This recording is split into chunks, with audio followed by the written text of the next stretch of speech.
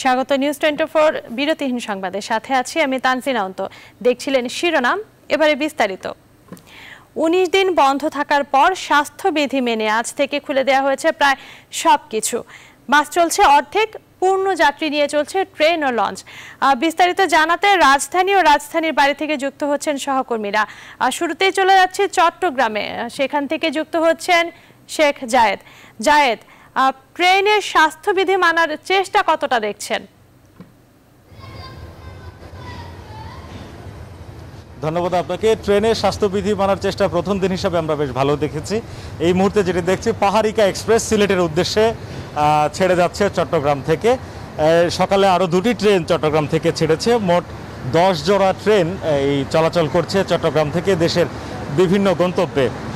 Rail স্টেশনের যারা দায়িত্বে আছেন, তারা যেটি বলেছেন যে তারা মাস্ক ছাড়া কাউকে এই স্টেশন বা প্ল্যাটফর্মে প্রবেশ করতে দিচ্ছেন না এবং যে ট্রেনগুলো চলাচল করছে আজকে সেই বগিগুলো সহ গোটা স্টেশনে তারা পরিষ্কার, পরিচ্ছন্ন এবং জীবাণুমুক্ত করেছেন। তবে আমরা ট্রেনগুলোতে দেখেছি যে উপচে পড়া ভিড়, যাত্রী আছে প্রচণ্ড। যদিও রেলওয়ের পক্ষ থেকে বলা হয়েছে যে তারা যে প্রতিটি সিটের বিপরীতে তারা আসন বিক্রি, টিকিট বিক্রি করেছেন। সেই হিসেবে আমরা দেখছি যে অনেক ক্ষেত্রেই লোকাল যাত্রী যাদেরকে বলা অর্থাৎ দাঁড়ানো যাত্রী যারা তারা কিন্তু আছেন এই ট্রেনে। এবং সেই জায়গায় এবং যারা ট্রেনের ভিতরে আছেন, তারা অনেকেই কিন্তু মাস্ক পরছেন না। অর্থাৎ যখন চেকিং তারা অতিক্রম করেন, তখন মাস্ক ছিল মুখে। কিন্তু ট্রেনে এসে তাদেরকে মাস্ক পরতে দেখা যাচ্ছে না। তো দশ জোড়া ট্রেন চলাচল করছে স্বাস্থ্যবিধি প্রথম দিনের মতো আমরা যেটি দেখছি মানানোর চেষ্টাটি ছিল কিন্তু যাত্রীদের অনেকেই স্বাস্থ্যবিধি ঠিকভাবে মানছেন না সেটি আমরা দেখছি। এবং টিকিট কাউন্টারেও আমরা যেটি দেখেছি যখন শতভাগ টিকিট অনলাইনে দেওয়া হয়েছিল তখন তো আমরা কোনো যাত্রী দেখিনি রেল স্টেশনে টিকিট কাউন্টারগুলোতেও যেহেতু পঞ্চাশ শতাংশ টিকিট সরাসরি দেওয়া হচ্ছে কাউন্টার থেকে টিকিট কাউন্টারেও যাত্রীদের ভিড় ছিল। আমাদের আরেক সহকর্মী রাজশাহীতে আছেন কাজী সাহেব তিনি জানাবেন রাজশাহীর অবস্থা চলে যাচ্ছি তার কাছে। সাহেদ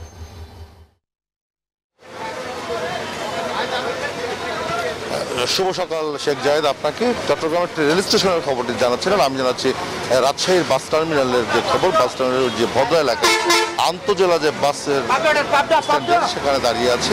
আমরা যদি একটু দেখাই যে এখানে প্রচণ্ড মানে যাত্রীদের ভিড় আছে, কিন্তু স্বাস্থ্যবিধি মানার যে প্রবণতি, সেটি কিন্তু এখানে লক্ষ্য করা যায়নি এবং হ্যান্ড স্যানিটাইজার বা মাস্কের যে বাধ্যতামূলক করার কথা ছিল, সেটি এখানে দেখা যাচ্ছে না। শতভাগ যাত্রী নিয়েই বাসগুলি চলছে।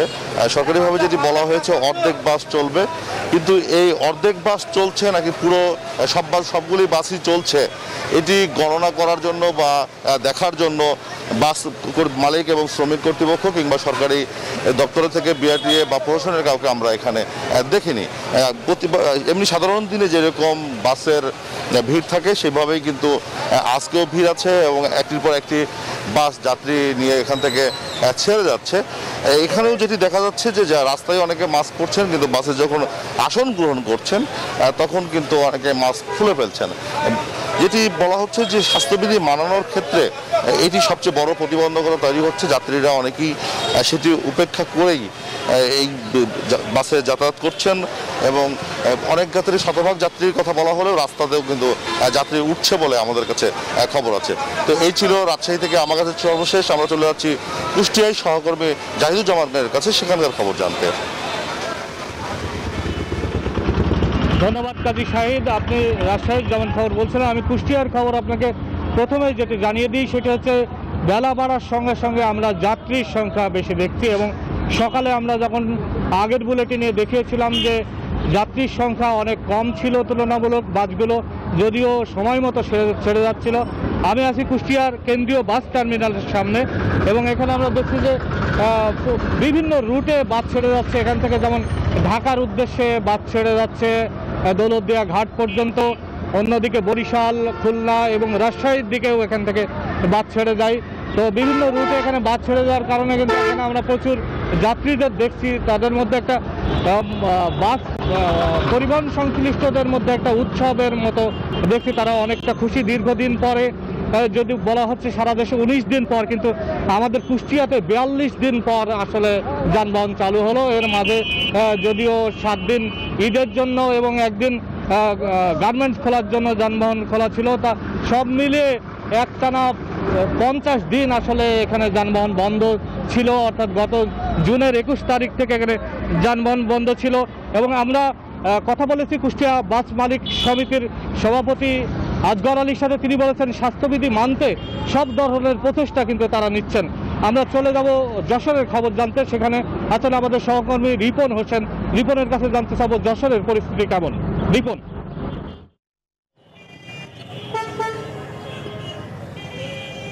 ধন্যবাদ প্রিয় সহকর্মী জাহিদ আপনাকে। আমি রয়েছি যশোরের মনিয়ার এলাকায়।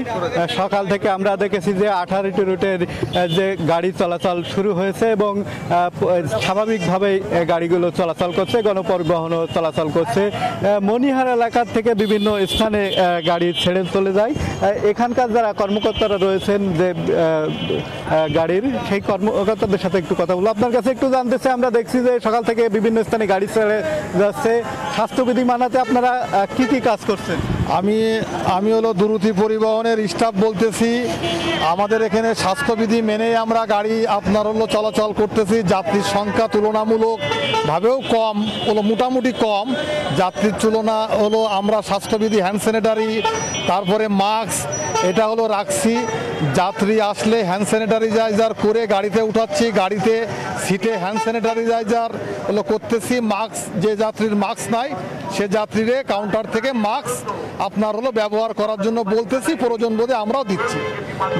যাত্রী ধন্যবাদ আপনাকে। শুনছিলেন যে বিভিন্ন পদক্ষেপ নিয়েছেন যারা স্বাস্থ্যবিধি মানাতে। তবে আমরা দেখেছি যে বিভিন্ন স্থানে যে স্বাস্থ্যবিধি মানানোর ক্ষেত্রে সেটি তারা অনেকেই মানছেন না। তো এই ছিল যশোর থেকে আমার কাছে সর্বশেষ। আমাদের আর এক সহকর্মী রয়েছে, টাঙ্গাইলে আতিক। সেখানকার খবর জানব। আতিক সেখানকার কি অবস্থা গণপরিবহনের বলবেন?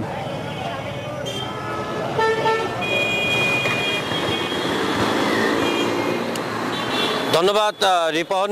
আসলে দীর্ঘদিন পর কিন্তু এই যে সরকারিভাবে যে অর্থাৎ বিধিনিষেধ প্রজ্ঞাপন জারি করে যে পরিবহন সেক্টর এবং সব কিছু খুলে দেওয়া হয়েছে এবং ঢাকা টাঙ্গাইল মহাসড়কে কিন্তু বর্তমান চিত্র হচ্ছে যে অনেকটাই যে যানবাহন খুব কম লক্ষ্য করছি এবং আজ থেকে যেহেতু আসলে পরিবহন যানবাহন যে চলাচল যে, চলাচল করবে সকাল থেকেই কিন্তু এই উত্তরবঙ্গের যে যানবাহন এবং যাত্রীরা কিন্তু তারা যাচ্ছেন। তবে যে অর্থাৎ অর্ধেক যে বাস, অর্থাৎ যানবাহন চলাচল বিধি নিষেধ করা হয়েছে সেটি কিন্তু আসলে আমরা খোঁজ নিয়েছি যে এই যারা হচ্ছে এই পরিবহন সেক্টরের যারা রয়েছেন, তাদের সাথে কথা বলেছি। তারা বলছেন যে আমরা অর্ধেক যানবাহন তাদের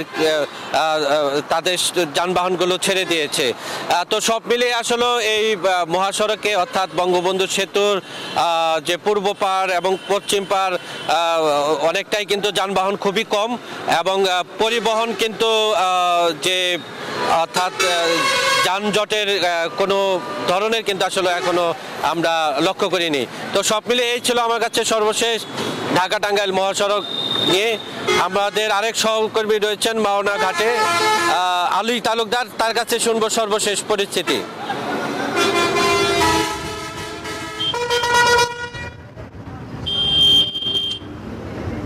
ধন্যবাদ। শুনছিলাম যে বিভিন্ন জেলায় এই লকডাউনের পর সাধারণ যারা মানুষ এবং গণপরিবহনের সর্বশেষ অবস্থা। তো আমি এই মুহূর্তে শিমুলিয়া ঘাটে রয়েছি। একটি বিষয় হচ্ছে যে লকডাউনের পর গণপরিবহন থেকে যে এই নির্দেশনাগুলো ছিল যে অর্ধেক যাত্রী, অর্ধেক গণপরিবহন চলবে এবং অর্ধেক যাত্রীর যে বিষয়টি ছিল, সেটি কিন্তু নিষেধ করা হয়েছে যে, না, পুরো যানবাহনের মধ্যেই এই গণপরিবহনে পুরো যাত্রী যেন একটি গাড়িতে যাতায়াত করতে পারে সেই বিষয়গুলো। তবে এই শিমুলিয়া ঘাটের চিত্র কিন্তু অন্যান্য সময় থেকে বলা চলে যে আলাদা। কারণ কিছুদিন আগে যেই একটি দুর্ঘটনা ঘটেছিল, সেই ঘটনার কথাটি বিবেচনা করে এবং নদীর যেই স্রোত, সেই স্রোতের কথা বিবেচনা করে যে ফেরি ঘাটে পণ্যবাহী বা- ভারী যেই যানবাহনগুলো বাস বা ট্রাক, সেগুলো নিষে- নিষেধ করা হয়েছে যেন ফেরিতে না যেতে পারে। সেই ক্ষেত্রে যারা ওই পার থেকে এই শিমুলিয়া ঘাটে আসছেন, সাধারণ যারা যাত্রী, তাদের মধ্যে কিন্তু ভোগান্তি রয়েছে এবং সেই ভোগান্তির অংশ হিসেবে দেখা গেছে যে শুধুমাত্র তারা ফেরিতেই পারাপার হচ্ছেন এবং আপনি দেখতেই পাচ্ছেন যে ফেরিতে অন্যান্য সময়তে আমরা দেখিয়েছি যে এই গণপরিবহন, বাস বা দূরপাল্লার যেই যানবাহনগুলো, সেগুলো থাকে, তবে এই সময়টাতে সেগুলো নেই। সাধারণ মানুষ তারা ফেরিতে করেই পারাপার হচ্ছেন। এবং বলা যায় যে এই নির্দেশনা আসলে এই শুধুমাত্র সাধারণ মানুষ যেন সেই বিষয়গুলোর মধ্যে মেনে চলে। তবে মেনে চলার ক্ষেত্রে দেখা যাচ্ছে যে, তাদের মধ্যে ভোগান্তি আমরা লক্ষণীয়। এবং আরেকটি বিষয় হচ্ছে যে, শুধুমাত্র ফেরি ঘাট না ও পাশে লঞ্চ ঘাট রয়েছে। সেই লঞ্চ ঘাটেও মানুষের উপচে পড়া ভিড় এবং তারা লঞ্চে পারাপার হচ্ছে। তো সব মিলিয়ে বলা চলে যে, এই যে অর্ধেক যানবাহন এবং এই যে নির্দেশনা সেই ফেরি পারাপারের ক্ষেত্রে এক কথায় যে সাধারণ যারা যাত্রী, তাদের মধ্যে অনেকটাই ভোগান্তি। তো এই ছিল শিমুলিয়া ঘাট থেকে আমার কাছে সর্বশেষ খবর। আমাদের আরেক সহকর্মী শামীম, তিনি রয়েছেন দৌলুদিয়া। তিনি জানাবেন সেখানকার সর্বশেষ পরিস্থিতি। শামীম। ধন্যবাদ আলী তালুকদার। আপনি যেভাবে জানাচ্ছেন দৌলতদিয়া ঘাটের চিত্রটা আমি দেখাতে চাচ্ছি, এই মুহূর্তে কিন্তু দৌলতদিয়া ঘাটে পণ্যবাহী ইরাকের একটি শাড়ি আমরা দেখতে পাচ্ছি। এরা কিন্তু টানা রাত দৌলত ঘাটে ফেরিপারের অপেক্ষা ছিল। আমরা জানি কিন্তু টানা চোদ্দ দিন লকডাউনের কারণে কিন্তু গণপরিবহন চলাচল বন্ধ থাকার পরে কিন্তু চোদ্দ দিন পর গণপরিবহন চলাচল শুরু হয়েছে। সেই থেকে কিন্তু আমরা দেখতে পেয়েছি গত রাত থেকে কিন্তু দৌলত ঘাট ব্যবহার করে ঢাকামুখী শত শত যাত্রীবাহী পরিবহন কিন্তু আমরা দেখেছি। সকালের বুলেটিনে কিন্তু আমরা যে চিত্রটি দেখেছি দৌলতদিয়া ঘাটে আহ, পরিবহন, যাত্রীবাহী পরিবহনের কিন্তু একটা সারি ছিল। তবে সেই চিত্রটি কিন্তু এখন আমরা দেখতে পাচ্ছি না। তবে তবে বিআরডাব্লিউটিসি কর্তৃপক্ষ আমাদেরকে জানিয়েছেন, দক্ষিণ পশ্চিমাঞ্চল থেকে যেসব যানবাহনগুলি আসে, তারা কিন্তু এগারোটা বারোটার দিকে কিন্তু দৌলতদিয়া ঘাটে এসে পৌঁছাবে।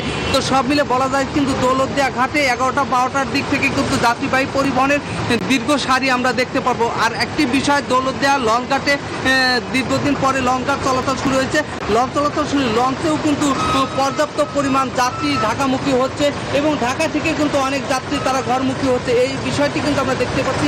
তবে সামাজিক দূরত্ব বজায় না রেখে কিন্তু তারা যাতায়াত করছে। তো সব মিলে বলা যায় দৌলতদিয়া ঘাটে এখনও পর্যন্ত যাত্রীবাহী পরিবহনে কোনো চাপ নেই। তো পণ্যবাহী ট্রাকের যে চাপটি আছে, এই চাপটি বেলা বাড়ার সাথে সাথে বৃদ্ধি পেতে পারে। তো এই ছিল দৌলতদিয়া ফেরিঘাটের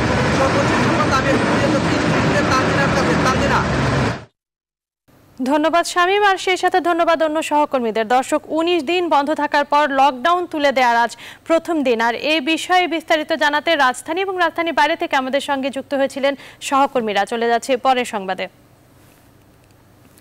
লকডাউন শিথিল হয়ে সব কিছু খুলে দেয়া হলেও বন্ধ পর্যটন কেন্দ্রগুলো। বিশ্বের দীর্ঘতম কক্সবাজার সমুদ্র সৈকতে এখনও শুনশান নীরবতা। শহরের পাঁচ শতাধিক হোটেল, মোটেল, রেস্তোরাঁ পর্যটক শূন্য। ফলে ব্যবসা বাণিজ্যের নাজুক পরিস্থিতিতে লক্ষ লক্ষ টাকা লোকসানে দিশেহারা উদ্যোক্তারা।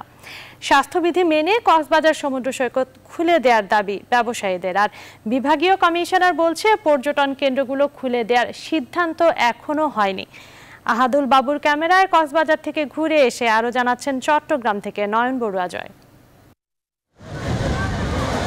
পৃথিবীর দীর্ঘতম সমুদ্র সৈকত কক্সবাজার। অপার প্রাকৃতিক সৌন্দর্য উপভোগ করতে আসা পর্যটকদের পদচারণায় মুখর থাকে যে সৈকত। সেখানে এখন শুনশান নীরবতা। মহামারী করোনা যেন স্তব্ধ করে দিয়েছে সব। তবে পর্যটক সহ স্থানীয়রা বলছেন এখন সীমিত পরিসরে হলেও খুলে দেওয়া হোক পর্যটন কেন্দ্রগুলো। করোনার প্রাদুর্ভাবের কারণেই আমাদের এই কক্সবাজারে একদম পর্যটন শূন্য হয়ে গেছে। এই সমুদ্র কক্সবাজার সমুদ্র সৈকতটা ঠিক আগের মতোই রূপ নিয়ে আমাদের মাঝে আবারও ফিরে আসুক শহরের হলিডে মোড় থেকে কলাতলির ধরিয়ানগর সৈকত এলাকা পর্যন্ত তিন বর্গ কিলোমিটার এলাকায় হোটেল মোটেল গেস্ট হাউস ও কটেজ রয়েছে চার শতাধিক। দীর্ঘদিন ধরে পর্যটক শূন্যতায় বড় আর্থিক ক্ষতির মুখে পড়েছে এই খাত। বাংলাদেশের প্রায় চল্লিশ লক্ষাধিক লোক প্রত্যক্ষ ও পরোক্ষভাবে এই শিল্পের সাথে জড়িত, যার প্রতি দশজনে একজন উপার্জনকারী। তাদের প্রত্যেকের জীবন ও জীবিকা সম অবস্থা বিরাজ করছে। আর এই অবস্থা চলতে থাকলে আমাদের প্রত্যেকের থালা নিয়ে রাস্তায় নামা ছাড়া আর কোনো পথ খোলা থাকবে না। আমাদের পর্যটন শিল্পটাকেও যদি অন্তত স্বাস্থ্যবিধি মেনে হলেও অপারেট করতে দেয়া হয়, তাহলে এই শিল্পের সাথে এই সেক্টরে আমরা যারা জড়িত তারা হয়তো শেষ পর্যন্ত হাফ ছেড়ে বাঁচার একটা সুযোগ পায়। করোনা পরিস্থিতির আরও উন্নতি হলে ধীরে ধীরে পর্যটন কেন্দ্র খুলে দেওয়ার সিদ্ধান্তে যাবে প্রশাসন জানালেন বিভাগীয় কমিশনার। এটি যাতে বিশ্বমানের হয় এবং এটি যাতে আরও টুরিস্ট আকর্ষণ করে এবং উন্নত করা যায় সে ব্যাপারে আমি এর মধ্যেই পর্যটন কর্পোরেশন চেয়ারম্যান মহোদয়ের সাথে কথা বলেছি। শুধু কক্সবাজার সমুদ্র সৈকত নয় চট্টগ্রামের পতেঙ্গা সমুদ্র সৈকতকেও আগের মতো দেখতে চান বিনোদন প্রেমীরা। Nayan Barua Joy, news twenty Chattogram. গণটিকার সুফল পেতে শুরু করেছে ভারত। করোনা ভাইরাসে আক্রান্তের সংখ্যা আগের তুলনায় অনেকটাই কমে এসেছে। শিথিল হয়েছে লকডাউন। পশ্চিমবঙ্গেও বিধি নিষেধের শিথিলতা আসায় কলকাতায় খুলতে শুরু করেছে দোকানপাট ও ব্যবসা বাণিজ্য কেন্দ্র। তবে বাংলাদেশিদের যাতায়াত শুরু না হওয়ায় ব্যবসায় এখনও গতি আসেনি বলে জানিয়েছেন ব্যবসায়ীরা। কলকাতার ব্যবসা বাণিজ্য নিয়ে বিস্তারিত জানাচ্ছেন ভাস্কর সর্দার। আগের তুলনায় পশ্চিমবঙ্গে কমেছে দৈনিক করোনা আক্রান্তের সংখ্যা, ফলে সরকারিভাবে অনেকটাই শিথিল করা হয়েছে আংশিক লকডাউন আর তার জেরে শহর কলকাতায় খুলতে শুরু করেছে দোকানপাট, ব্যবসা বাণিজ্য। তবে চলমান করোনা ভাইরাস মানুষের শরীরের পাশাপাশি সরাসরি প্রভাব ফেলেছে আর্থিক কোষাগারেও। আর তাতেই শহরবাসীর পকেটে টান পড়েছে। ফলে কলকাতার বিক্রেতারা দোকানপাট খোলা রাখলেও লাভের মুক্ত দুরস্ত, দোকান খোলার খরচই উঠছে না। পাশাপাশি কলকাতার নিউ মার্কেট এবং বড়বাজার অঞ্চলের মতো এলাকাগুলোয় বাংলাদেশিদের যাতায়াত না থাকায় ব্যবসার গতি ক্রমেই কমছে। তাদের আশা খুব তাড়াতাড়ি সরকারিভাবে চালু হোক ভিসার আদান প্রদান, আর তাতেই বাংলাদেশি অর্থাৎ লক্ষ্মী ফিরুক তাদের দৈনিক জীবনে। বাংলাদেশি ছিল, ওরা সব সময় মানে আমাদেরকে বিজনেস দিত এখানে। কিন্তু এখন যে মানে দু বছর ধরে লকডাউন হয়েছে কোভিড এটা মানে অনেক বরবাদ করে দিয়েছে। একই মত, আরেক ব্যবসায়ী ইমতাজের খুব তাড়াতাড়ি চালু হোক ভিসার আদান প্রদান। এখন এটাই তাদের প্রার্থনা। যদি খুলে আমি তো খুব খুশি থাকব, দাদা। আমরা খুশি কি? আমার, আপনি যত এরিয়াতে দেখবেন, সব খুশি থাকবে। ও না আসলে এখানে কিছু নেই। বন্ধ করে আমাকে বাড়িতে বসতে হবে। এ আপনি বুঝে নিন। মানে আমাদের কি? আমাদের যেখানে রেস্টুরেন্ট আছে গেস্ট হাউস আছে গার্মেন্ট শপ আছে, যা ট্রাভেলস এজেন্সি আছে, যা কিছু আছে সব ওই উপরে হান্ড্রেড পার্সেন্ট ডিপেন্ডেন্ট আছে। যদিও পুজোর মুখে কেনাকাটির জন্য খুব একটা কলকাতামুখী হন না বাংলাদেশিরা। তবুও সারাটা বছর এই নিউ মার্কেট অঞ্চল দাপিয়ে বেড়ান বাংলাদেশিরা। তবে করোনার কারণে গত দেড় বছর ধরে বাংলাদেশিরা না আসায় কলকাতার নিউ মার্কেটের কেনাকাটার গতি অনেকটাই কমেছে। এমনটাই মত এখানকার বিক্রেতাদের। ক্যামেরায় সাকিল আবদিনের সাথে ভাস্কর সর্দার, নিউজ টোয়েন্টি কলকাতা। শুধু জনবল সংকটের কারণে পশ্চিমাঞ্চল রেলের গতি চলছে ঢিমে তালে। নতুন স্টেশন ও ট্রেন চালু হলেও কোনো জনবল নিয়োগ হয়নি তিন বছরেও, যা দুরন্ত ট্রেনের গতি টেনে ধরছে। বন্ধ স্টেশন চালু করা যাচ্ছে না রেলের গতি আনতে, তাই দ্রুতই অনলাইনে নিয়োগ প্রক্রিয়া শুরু করতে যাচ্ছে রেল কর্তৃপক্ষ। এসে বাপির ক্যামেরায় রাজশাহী থেকে কাজী শাহেদের প্রতিবেদন। জনবল সংকটে চালু করা যাচ্ছে না। পশ্চিমাঞ্চল রেলের বহু স্টেশন। প্রয়োজন থাকলেও চালুর উদ্যোগ নিতে পারছে না কর্তৃপক্ষ। পশ্চিমাঞ্চলে দুশো আটত্রিশ স্টেশনের মধ্যে বন্ধ আছে উনসত্তরটি অনুমোদিত জনবল কাঠামোর বিপরীতে একচল্লিশ ভাগ পদই শূন্য। বর্তমানে এগুলি বন্ধ আছে মূলত দুইটা কারণে। একটা হলো স্টেশন মাস্টারের শর্টেজের কারণে আর একটা হলো পয়েন্টসম্যানের শর্টেজের কারণে। রেলের উন্নয়নে গেল কয়েক বছরে নতুন নতুন রেলপথ ও স্টেশন ভবন নির্মাণ সহ নানা প্রকল্প বাস্তবায়িত হয়েছে। যাত্রীদের চাহিদাও বেড়েছে। কিন্তু স্টেশন চালু না হওয়ায় সেবা পাচ্ছেন না যাত্রীরা। যদি পুনরায় চালু করা হয় তাহলে এই সকল অঞ্চলের লোকজন তাদের বিভিন্ন গন্তব্যে যাতায়াতের জন্য এটা অনেকটাই সহায় হবে বলে মনে হয়। যেহেতু রেল একমাত্র সস্তার যোগাযোগ জনগণের জন্য দরকার সাধারণ মানুষের জন্য দরকার। কৃষকরা যে তাদের যে কৃষি পণ্য আহ, তাদেরকে মাঠ থেকে নিয়ে এসে যে বিভিন্ন স্টেশনে থেকে যারা দিতে পারে তাহলে আরও বেশি উপকার হবে। সর্বশেষ দুই হাজার আঠারো সালে কিছু জনবল নিয়োগ করা হয়েছিল। এরপর নানা জটিলতায় নিয়োগ আটকে আছে। তবে শিগগিরই জনবল নিয়োগের উদ্যোগ নিতে যাচ্ছে রেল। করোনার কারণে নিয়োগের প্রক্রিয়া হবে অনলাইনে। রিক্রুটমেন্টের পরে সেটাকে আবার ট্রেনিং দিতে হয়। আমাদের প্রফেশনারি পিরিয়ড থেকে দুই বছর। তাহলে আমাদের এই জনগণ রিকুপ করা এই ফুল জনবল পেতে আমাদের উম, অনেক সময় লাগবে। এটা প্রত্যেক মন্ত্রণালয়ে একটা কমিটি থাকে ওইভাবে একটা কমিটি গঠন করা হয়েছে। সেই কমিটি এখন এই রিক্রুটমেন্টের জন্য কাজ করছে। গত এগারো বছরে সারা দেশে নতুন স্টেশন নির্মাণ হয়েছে পঁচানব্বইটি আর একশো তেত্রিশটি নতুন ট্রেন চালু হয়েছে তবে নিয়োগ হয়নি জনবল। Kazi Shahed news twenty four Rajshahi. এবারে শোকাবহ আগস্ট। কেবল অ, আ, ক, খ শিখলেই শিক্ষিত হওয়া যায় না, হতে হয় আলোকিত মানুষ। শিক্ষা সম্পর্কে এমনটাই বলেছিলেন জাতির পিতা বঙ্গবন্ধু শেখ মুজিবুর রহমান। ইতিহাসবিদ সৈয়দ আনোয়ার হোসেন বলেন, বঙ্গবন্ধুর শিক্ষা দর্শন ছিল মানুষ গড়ার পন্থা। শিক্ষা সম্পর্কিত বঙ্গবন্ধুর নেওয়া পদক্ষেপগুলো যদি অনুসরণ করা যেত, তবে বাংলাদেশের শিক্ষাক্ষেত্রে বিপ্লব হয়ে যেত। সুকন্যা আমিরের প্রতিবেদন। গিয়েছিলাম এক নীতি। বঙ্গবন্ধু শেখ মুজিবুর রহমান।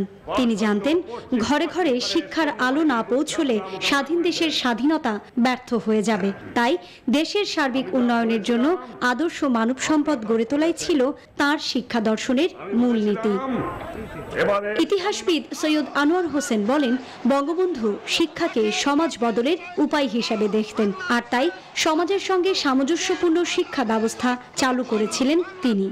শুধু অ, আ, ক খ শিখলেই শিক্ষিত হওয়া যায় না, আলোকিত মানুষ হতে হয়। এবং শিক্ষাকে স্বাধীন দেশে উপযোগী করবার জন্যে তিনি গুরুত্ব দিয়ে কুদরাতে খোদা শিক্ষা কমিশন গঠন করেছিলেন এবং উনিশশো বাহাত্তরের মে মাসেই শিক্ষা কমিশন হলো। বঙ্গবন্ধুর লেখাপড়া প্রাতিষ্ঠানিকভাবে খুব কম হয়েছে তার। তবে জীবন থেকে পাঠ নিয়ে তিনি ছিলেন বেশ বড় রকমের স্বশিক্ষিত মানুষ। প্রাথমিক শিক্ষাকে জাতীয়করণ করার পাশাপাশি বিশ্ববিদ্যালয়ের শিক্ষকদেরকেও গুরুত্বপূর্ণ অবস্থানে এনেছিলেন বঙ্গবন্ধু জারি করেছিলেন তিয়াত্তরের অধ্যাদেশ। প্রায় চৌত্রিশ হাজারের উপর প্রাথমিক বিদ্যালয়কে জাতীয়করণ করেছিলেন এবং বাহাত্তরে শিক্ষা খাতে পুনর্গঠনের জন্য একান্ন কোটি টাকা বরাদ্দ করেছিলেন এবং ঢাকা বিশ্ববিদ্যালয় নেতৃত্বে শিক্ষকদের বিশ্ববিদ্যালয় শিক্ষকদের সাহিত্য শাসন নিশ্চিত করতে তিয়াত্তরের অধ্যাদেশ দিয়েছিলেন। শিক্ষাক্ষেত্রে বঙ্গবন্ধুর নেয়া পদক্ষেপগুলো যদি অনুসরণ করা যেত তবে বাংলাদেশের শিক্ষা ব্যবস্থায় বিপ্লব হয়ে যেত বলে মনে করেন ইতিহাসবিদ Syed Anwar Hossain. Sukanya Amir news twenty Dhaka. এবারে খেলার খবর। দুই বছরের জন্য পিএসজির সাথে চুক্তিবদ্ধ হলেন ফুটবল জাদুকর লিওনেল মেসি। কিছুক্ষণ আগেই এই চুক্তি স্বাক্ষর অনুষ্ঠান সম্পন্ন হয়েছে। বদলে যাচ্ছে তার জার্সি নাম্বারও। পিএসজিতে তিনি খেলবেন ত্রিশ নম্বর জার্সিতে। এর আগে গতকালই মেসি প্যারিসে পৌঁছায়।